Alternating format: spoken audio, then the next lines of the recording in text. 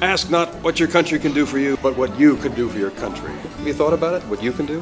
Not much. You do. You recycle. Diddly squat. You take the bus. I've seen you.